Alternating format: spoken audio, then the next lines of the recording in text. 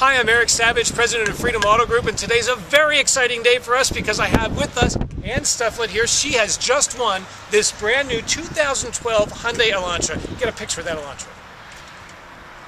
This awesome car belongs completely to Ann right now because, for the very important reason, because she gave from her heart to United Way.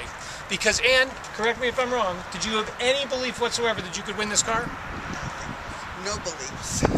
So then the only reason she gave is because she really cares about the community, and that is the best person to have win the vehicle. So Ann, congratulations to you. Here is the key to your new Elantra.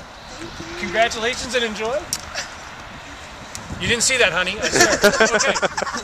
So listen, this is a really great event and a really great day for us. Thank you so much to the United Way and to everybody who participated. The most awesome part of this whole thing is that they hit the goal. That's the best news of all. So the community is in good hands uh, with United Way and all the support that they're giving. And thank you to everyone who gave to the campaign as well. And congratulations to Thank you. you so much. Enjoy your new Elantra.